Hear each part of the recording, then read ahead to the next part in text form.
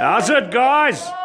What up? Are you having fun? Yes. Oh, that's good. And I see you got Daddy there in the background as well. Oh, well, yes. He's gonna get you guys today. Eh? Today you're in trouble, I'm telling you. So you better aim your guns well at him because he's out to get you guys. All right. You having a nice party? Yes. Okay. And you're having fun? Yes. Okay. Everybody having fun? Yes. Okay, that's fantastic. And thanks, hey Clint. Thanks a lot, hey Darlene. Thanks very much for coming, guys. Okay.